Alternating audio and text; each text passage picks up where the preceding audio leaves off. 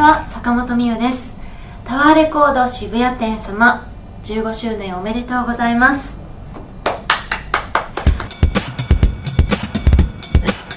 えー、15年長いですね。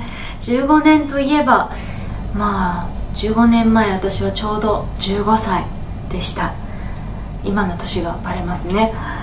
えー、まだニューヨークの高校に通っていたんですけれどもあのその都度まあ夏休みとかに日本に帰ってきては本当に渋谷店にお世話になって 帰ってくるたびに通ってました。何にも用がなくてもふらっと入って一回りしてっていうのがお約束でうん本当にあの世界中の音楽を視聴させてもらって帰ったりまたはニューヨークで手に入らない CD をたくさん抱えてあの幸せだったりという思い出があります。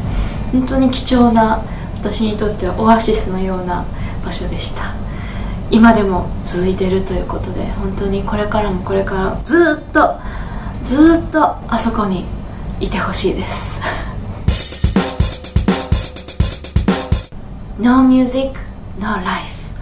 More, more, more tower! バイバイおめでとう